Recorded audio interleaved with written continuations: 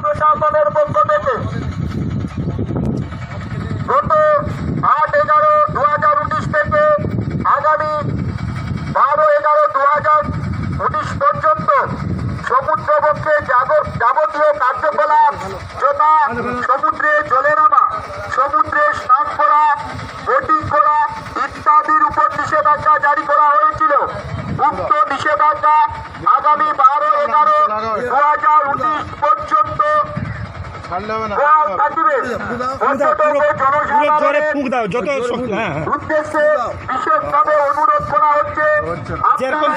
দাও না, যেরকম দাও এরকম ছাড়তে বলো ছাড় প্রশাসনের সাথে সম্পূর্ণভাবে সহযোগিতা করুন। ধন্যবাদ।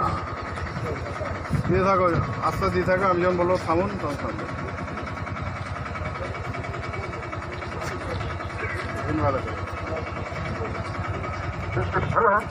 আরে দিতে থাকো না।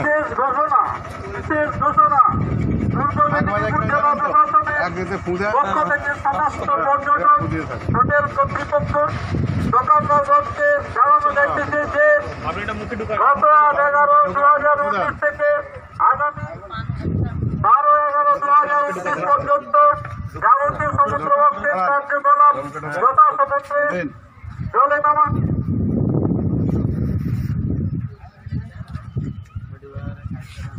পূর্ব মেদিনীপুর জেলা প্রশাসনের পক্ষ থেকে সমস্ত পর্যটক, হোটেল কর্তৃপক্ষ ও দোকানদারগণকে জানানো যাইতেছে যে গত আট এগারো দু হাজার উনিশ থেকে আগামী বারো এগারো দু হাজার উনিশ পর্যন্ত যাবতীয় সমুদ্রপক্ষের কার্যকলাপ যথা সমুদ্রে জলে নামা সমুদ্রে স্নান করা, নৌকা বিহার ইত্যাদি নিষেধাজ্ঞা জারি করা হয়েছিল। উক্ত নিষেধাজ্ঞা আগামী বারো এগারো দু হাজার উনিশ রাত্রি পর্যন্ত বহাল থাকছে। পর্যটক ও জনসাধারণকে বিশেষভাবে অনুরোধ করা হচ্ছে যাবতীয় সামুদ্রিক কার্যকলাপ বন্ধ রেখে প্রশাসনকে সম্পূর্ণভাবে সহযোগিতা করতে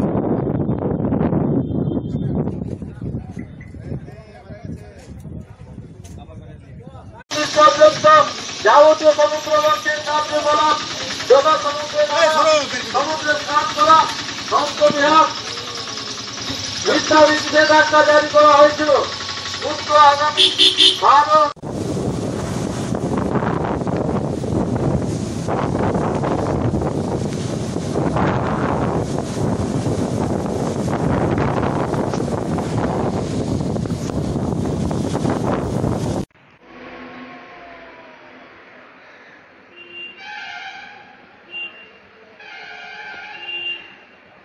এসছি শিবানী চন্দ্র।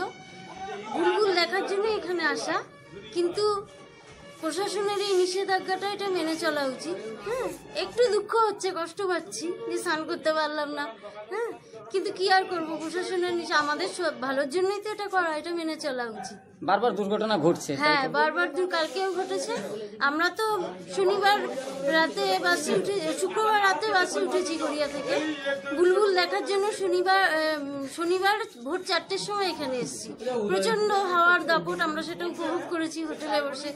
জানলার কাজগুলো কাজ ছিল হ্যাঁ সমুদ্রেও এসেছিলাম কিন্তু আমাদের যেতে দেওয়া হয়নি সামনাসামনি দূরের দূর থেকে উত্তাল সমুদ্র দেখেছি উপভোগ করলাম। এটা একটা আলাদা রোমাঞ্চ অ্যাডভেঞ্চার বলতে পারি। ঝড়ের পরের দিনই দুজন ডুবে মারা গেল হ্যাঁ, হ্যাঁ, তারপর আরও কড়া হাতে। সমুদ্র স্নানে নিষেধাজ্ঞা জারি করেছে। হ্যাঁ হ্যাঁ। এতে কি আপনি থাকবেন না চলে যাবেন? না আমি থাকব। কারণ দীঘার একটা আলাদা টান।